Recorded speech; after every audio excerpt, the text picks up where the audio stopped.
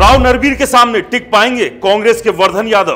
बादशाहपुर विधानसभा में कांग्रेस को जीत दिला पाएँगे वर्धन यादव। कुमुदनी राकेश दौलताबाद कांग्रेस या बीजेपी, किसे पहुंचाएगी नुकसान? बादशाहपुर की कौन संभालेगा? 2024 में बादशाहत। नमस्कार दोस्तों, मेरा नाम है राज के वर्मा और आप देख रहे हैं रिपोर्टर जी। अगर आपने रिपोर्टर जी चैनल को अभी तक सब्सक्राइब नहीं किया तो आपसे रिक्वेस्ट है कि सबसे पहले रिपोर्टर जी चैनल को सब्सक्राइब ज़रूर कर लीजिए और लाइक और कमेंट्स करना तो बिल्कुल भूलिए मत। हरियाणा के विधानसभा चुनाव को लेकर हम लगातार कवरेज कर रहे हैं और एक एक अपडेट आपके लिए लेकर आ रहे हैं। फिर वो चाहे उम्मीदवारों की लिस्ट हो या कहाँ कहाँ किसे उम्मीदवार बनाया जा सकता था, और अभी के ताज़ा हालात जो है वो हरियाणा में चुनावी किस दिशा में जा रहे हैं और किस तरह के बने हुए हैं। जीत की तरफ़ कौन आगे बढ़ रहा है और जीत से कौन पीछे है, ये तमाम फैक्ट्स भी हम आपके लिए लगातार लेकर आ रहे हैं। लेकिन सबसे बड़ा सवाल यह है कि हरियाणा का ये रण, हरियाणा का विधानसभा चुनाव 2024 का कौन सी पार्टी जीतने वाली है? बीजेपी, कांग्रेस अपने अपने दावे हैं। बाकी जो दूसरे दल है, जेजेपी है, बसपा है, इनेलो है, आम आदमी पार्टी है ये कहीं ना कहीं कोशिश यही कर रही है कि इस बार हरियाणा के विधानसभा चुनाव में इनका खाता खुले या जो अस्तित्व की लड़ाई लड़ने की जो जंग इनकी चल रही है, उसमें ये किसी तरह से कामयाब हो पाए। लेकिन जो कड़ा मुकाबला है, वो बीजेपी और कांग्रेस के बीच में है। और इसमें बाजी कौन मारेगा, ये तो खैर 8 तारीख को बिल्कुल साफ़ हो जाएगा जब नतीजे 2024 हरियाणा विधानसभा चुनाव के आएँगे। लेकिन इस सब के बीच कांग्रेस हो या बीजेपी, दोनों ही पार्टियों के भीतर गुटबाजी चल रही है। टिकट बंटवारा जब हुआ, उसके बाद नाराज़ जो कांग्रेसी थे या बीजेपी वाले थे, उन्होंने पार्टी को छोड़कर या तो निर्दलीय चुनाव में दावेदारी ठोक दी या किसी दूसरे दल में जाकर बैठ गए हैं। तो ये भी अपने आप में बड़ी चिंता की बात और टेंशन दोनों पार्टियों के लिए बनी हुई है। इस टेंशन से किसी तरह से पार पाने के साथ साथ इन्हें आपस में भी एक दूसरे को चुनौती देनी है, टक्कर देनी है और इसी टक्कर के सहारे ये दोनों ही पार्टी इस उम्मीद में है कि वो हरियाणा की सत्ता में इस बार बैठने में कामयाब होगी। तो अब सबसे बड़ा सवाल ये है कि क्या 10 साल बाद कांग्रेस एक बार फिर से वापसी करने जा रही है या फिर दो बार जीत के साथ अब तीसरी बार हरियाणा में बीजेपी सरकार बनाएगी? तो इस पर भी आप हमें कमेंट्स कर ज़रूर बताइए। लेकिन इस सब के बीच बात करते हैं बादशाहपुर सीट की। बादशाहपुर सीट पर भी काफ़ी रोचक और कड़ा मुकाबला देखने को मिल रहा है। बीजेपी से राव नरबीर सिंह उम्मीदवार है, जो कि 2014 के चुनाव में उम्मीदवार थे, जीत हासिल की थी और कैबिनेट में मिनिस्टर बने थे। और कांग्रेस की बात करें तो कांग्रेस ने एक युवा चेहरे के तौर पर वर्धन यादव पर भरोसा जताया है। अब ये जो भरोसा है, इसे बनाए रखने में, बचाने में वर्धन यादव कितने कामयाब होंगे ये अपने आप में बड़ा सवाल है और इस सब के बीच बड़ा सवाल ये है कि राव नरवीर के सामने टिक पाएँगे वर्धन यादव। तो आज हम इसी पर बात करेंगे कि वर्धन यादव के पास ऐसी कौन सी स्ट्रेंथ है या वो कौन कौन सी ऐसी चुनौतियाँ हैं जो उन्हें मुश्किलों में डाल सकती है या इन मुश्किलों से बाहर निकाल सकती है। लेकिन सबसे बड़ा सवाल यही है कि राव नरवीर के सामने कांग्रेस के वर्धन यादव टिक पाएँगे।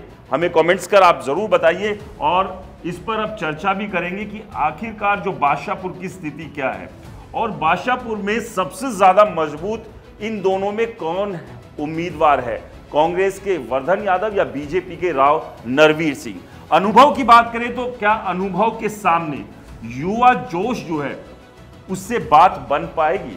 क्योंकि अनुभव जो है, उसकी अपनी स्ट्रेंथ है और युवा जोश है। जोश जो है, उसकी अपनी स्ट्रेंथ है। लेकिन क्या सिर्फ़ युवा जोश होने से ही राव नरबीर सिंह को वर्धन यादव टक्कर दे पाएँगे? क्योंकि राजनीति में युवा जोश होने के साथ साथ अनुभव की भी बेहद ज़रूरी ज़रूरत होती है और इसी स्ट्रेंथ के साथ कहीं ना कहीं आप चुनाव को जीत की तरफ़ आगे बढ़ाते हैं।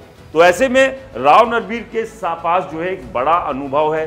तीन बार वो विधायक रहे और तीनों बार मंत्री भी रहे। तो एक लंबा चुनाव लड़ने का अनुभव होने के साथ साथ उन्हें विधायकी और बाकी तमाम चीज़ों को साधना और उनको साध कर साथ लेकर चलना ये अच्छे से आता है। और इस गुर में अभी वर्धन यादव कहीं ना कहीं काफ़ी पिछड़े हुए हैं। और अगर बात करें पूरी विधानसभा की, क्योंकि हरियाणा की सबसे बड़ी विधानसभा बादशाहपुर है, पाँच लाख से ज़्यादा वोट जो है वो बादशाहपुर में है। और इस पूरी बादशाहपुर विधानसभा को नापना अपने आप में बड़ी चुनौती तमाम उम्मीदवारों के लिए है। लेकिन राव नरवीर सिंह इससे पहले इस बादशाहपुर विधानसभा को बतौर विधायक, बतौर मंत्री अच्छे से नाप चुके हैं, अच्छे से इसको जान चुके हैं। समझ चुके हैं। लेकिन वहीं वर्धन यादव जो है, अपना पहला चुनाव यहाँ पर लड़ रहे हैं और सबसे बड़ी बात यह है कि बादशाहपुर के लोगों का साथ कितना वर्धन यादव के साथ में है, उनके पास में है।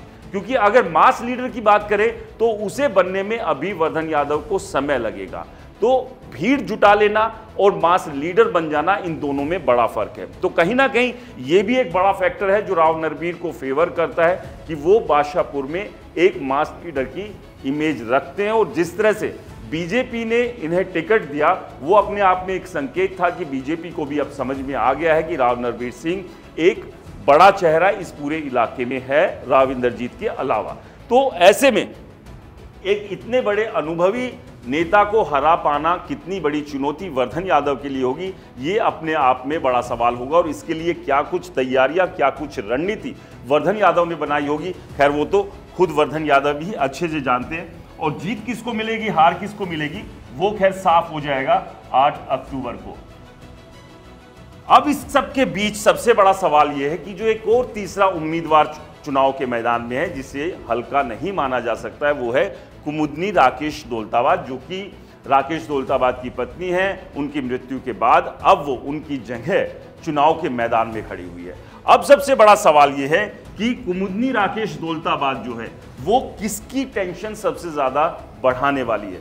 राव नरवीर सिंह की या वर्धन यादव की? क्योंकि कहीं ना कहीं एक बड़ा डेंट जो है, कुमुदनी राकेश दौलताबाद इस चुनाव में दे सकती है। इस बात की संभावना काफ़ी हद तक है। अब वो कितना डेंट दे पाएँगी, ये भी खैर 8 अक्टूबर को ही साफ़ होगा, लेकिन जिस तरह से चुनाव आगे बढ़ रहा है, और राकेश दौलताबाद ने 2019 के चुनाव में एक लाख सात हज़ार के करीब वोट हासिल किए थे, जो कि एक बड़ा नंबर था। और वहीं मनीष यादव, जो कि बीजेपी के उम्मीदवार थे, करीब छह से सात हज़ार का ही गैप था, हार और जीत का। तो ऐसे में अब सबसे बड़ा सवाल यह है कि राकेश दौलताबाद के पास जो वोट बैंक आया था, उसे कितना मेंटेन कुमुदनी राकेश दौलताबाद कर सकती है? उसमें कितना इजाफा कर पाएगी? या फिर वो बहुत ज़्यादा नीचे घट सकता है, क्योंकि घटने की भी संभावना बहुत ज़्यादा है, क्योंकि दोनों को ही एक साथ कंपेयर नहीं किया जा सकता। एक सिंपैथी वोट जो है, वो कुमुदनी राकेश दौलताबाद के साथ जा सकता है, लेकिन जिस डेंट की बात कर रहे हैं, वो डेंट देने की क्षमता में कुमुदनी राकेश दौलताबाद है, इसको नहीं भूला जा सकता, इसे खारिज नहीं किया जा सकता। तो सवाल सबसे बड़ा यही है कि इन दोनों में से किसे कुमुदनी राकेश दौलताबाद जो है, वो चुनौती देगी या किसकी टक्कर टेंशन जो है वो बढ़ाएँगी। तो आपको बता दें कि बादशाहपुर सीट पर जो जाट वोटर्स हैं, उनकी संख्या क्यों क्यों हमने जाट दलित अहीर को यहाँ पर चुना, वो भी हम आपको बताएँगे।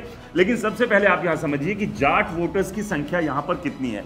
तो जाट वोटर्स जो है वो बासठ बाशापुर सीट पर है। इसके अलावा दलित वोटर्स की बात करें तो ये संख्या है चौरानवे की। और अगर इन दोनों को मिला दें तो ये करीब करीब एक लाख अट्ठावन हज़ार के आसपास बनती है। तो वहीं अहीर वोटर की बात करें तो एक लाख बारह हज़ार तीन सौ नब्बे अहीर वोटर यहाँ पर और कुल बादशाहपुर विधानसभा की वोट की बात करें तो वो है पाँच लाख सत्रह हज़ार नौ सौ बयालीस। तो ये वोट है टोटल यहाँ और इन्हीं वोट में से इन तमाम उम्मीदवारों को एक बड़ा नंबर चाहिए जीत के लिए। अब वापस आते हैं कि दलित और जाट वोटर्स का ज़िक्र। आखिरकार हमने यहाँ पर क्यों किया?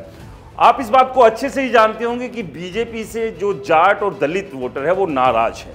और ये जो जाट और दलित वोटर है, कहीं ना कहीं अपने आप में डिसाइडिंग फैक्टर साबित होगा पूरे हरियाणा में। और जहाँ जहाँ जिन विधानसभाओं पर इनकी संख्या ज़्यादा है तो ज़ाहिर सी बात है, वहाँ पर भी ये असर देखने को मिलेगा।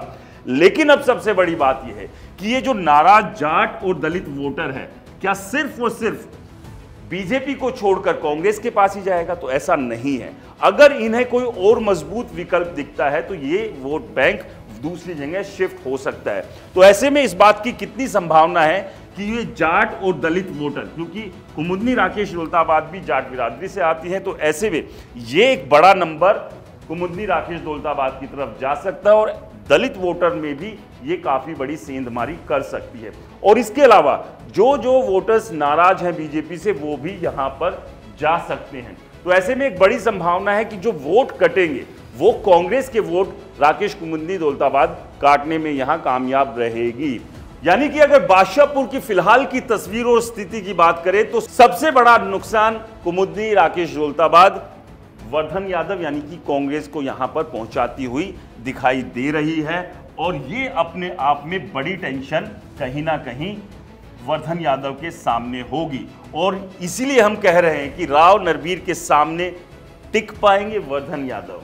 यानी कि क्या वो ये चुनाव जीतने में कामयाब हो पाएँगे? क्योंकि कई ऐसे फैक्टर्स हैं जिनसे उन्हें लड़ना है। वो फैक्टर्स वर्धन यादव के सामने बड़ी चुनौती बनकर खड़े हुए हैं, जिसमें फिर चाहे अनुभव की बात करें, लोगों के बीच मज़बूत पकड़ की बात करें, कुमुदनी राकेश दौलताबाद से जो चुनौती मिलनी है, जो नुकसान होना है, उसकी बात कर ले। तो ये तमाम ऐसे वो फैक्टर्स हैं, जो 2024 के विधानसभा चुनाव में वर्धन यादव के लिए टेंशन बने हुए हैं और खतरे की घंटी भी लगातार बजा रहे हैं। आपको क्या लगता है, इस बार 2024 के विधानसभा चुनाव में बादशाहपुर की बादशाहत किससे मिलने वाली है? हमें कमेंट्स कर ज़रूर बताएँ। रिपोर्टर जी चैनल को सब्सक्राइब नहीं किया है तो दोस्तों, चैनल को सब्सक्राइब करना ना भूलें। नमस्कार।